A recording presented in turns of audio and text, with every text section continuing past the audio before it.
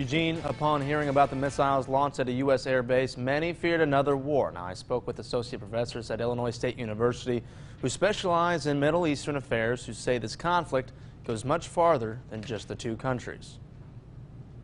The United States has more than 60,000 troops surrounding Iran in the Middle East. Tensions rose when President Donald Trump ordered a drone strike to kill Iranian General Qasem Soleimani.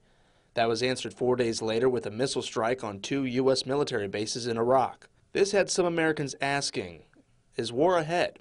Congressman Rodney Davis doesn't think so. I don't see that happening.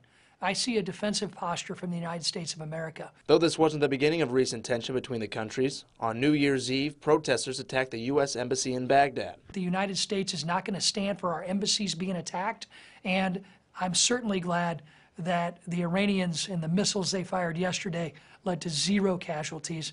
Dr. Yusuf Sarfati, Associate Professor of Politics and Government at Illinois State University, says the tensions go beyond U.S. and Iran borders. Is kind of a part of a larger struggle in the Middle East for regional hegemony between Iran and Saudi Arabia that has been going on for a long time. And while these tensions are happening overseas, Dr. Riaz says it will have effects on Americans right here at home. It already affected the oil prices, and it should continue to do so because it is creating an uncertainty with respect to the, the, the flow of oil.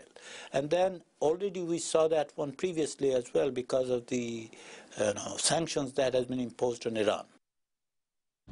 Congressman Davis says the future between the U.S. and Iran is unpredictable, but he says now that General Soleimani has been taken out, American soldiers and American citizens are much safer.